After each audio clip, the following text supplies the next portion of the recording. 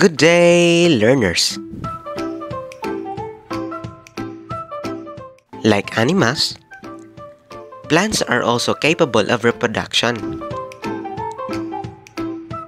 They reproduce in many ways.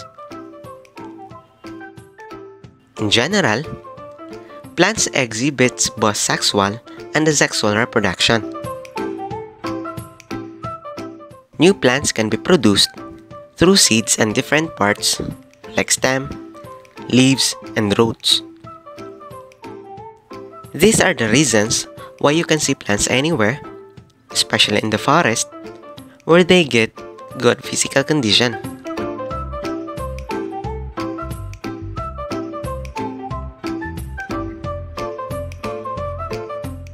This lesson is intended for you to describe the plant reproductive system responsible for the process, specifically sexual reproduction.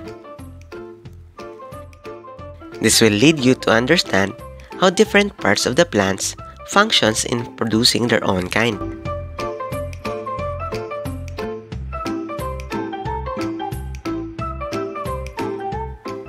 Plants have many ways on how to reproduce.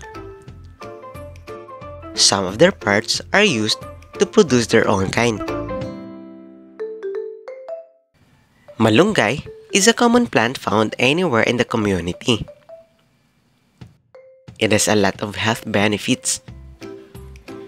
Based on different studies, its parts are used for medicinal purposes.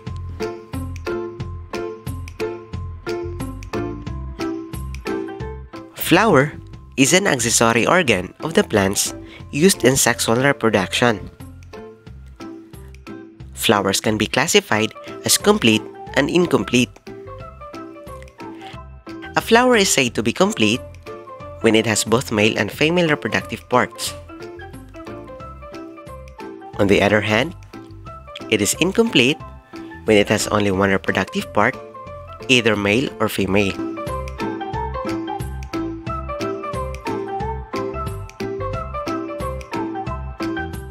Most plants are important to agriculture like corn, rice, wheat, and soybeans are flowering, which means they undergo sexual reproduction.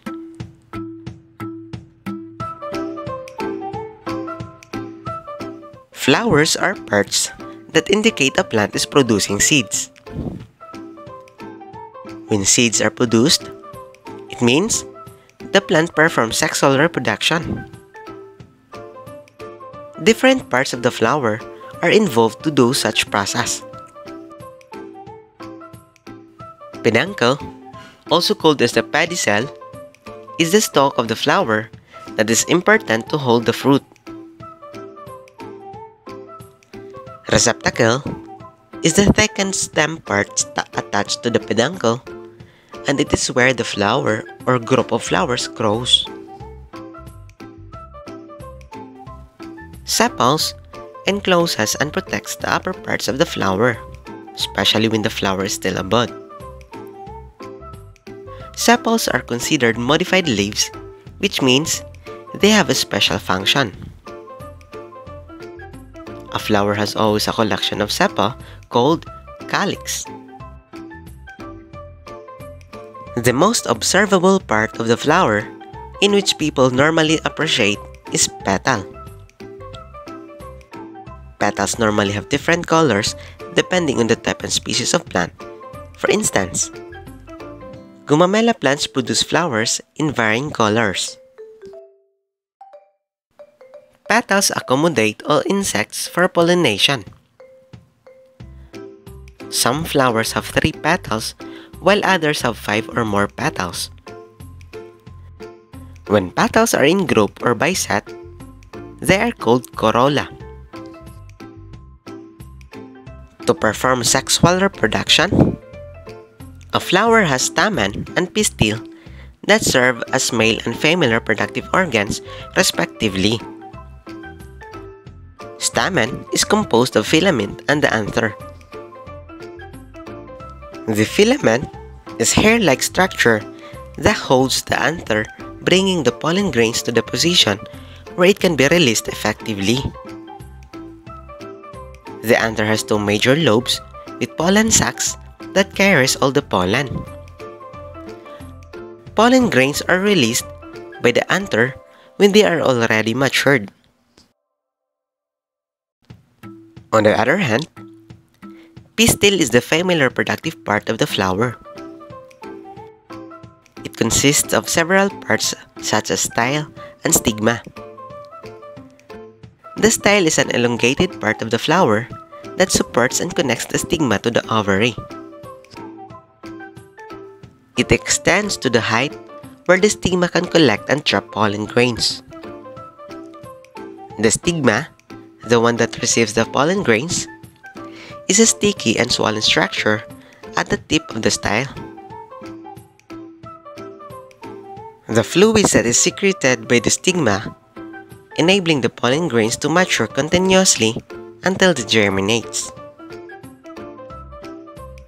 If both pistil and stamen are present, the flower is considered complete or bisexual like rose and gumamela.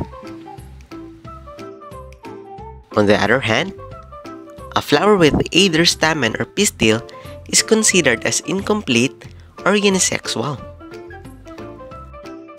Plants like papaya and cucumber produce only unisexual flowers.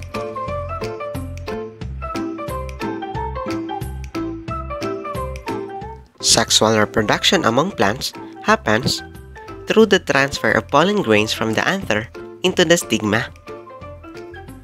The anther serves as the male part while the stigma functions as the female part.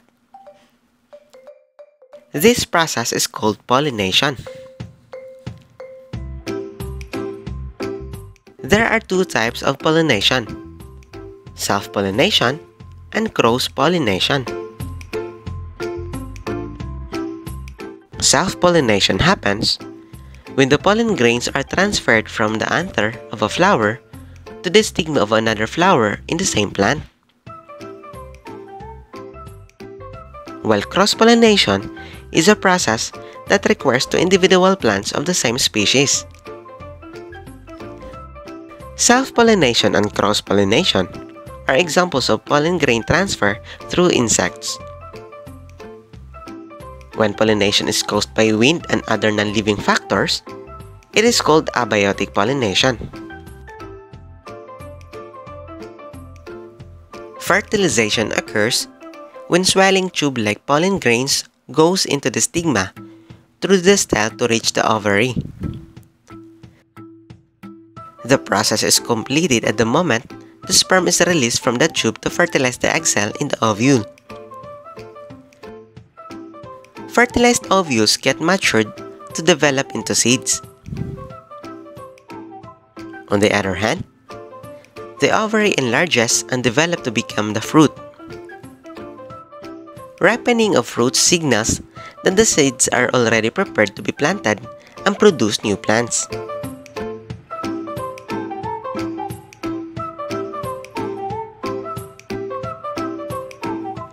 Sexual reproduction through pollination is possible with the help of pollinators.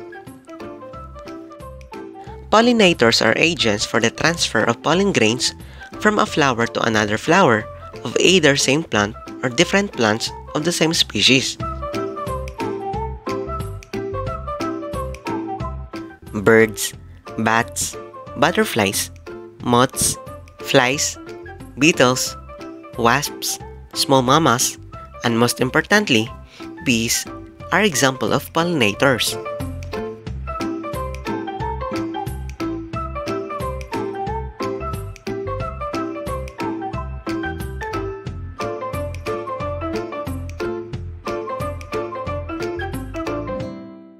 That ends our lesson for today. I hope you learned something from the discussion. Kita kids in the next lessons. Until next time, goodbye.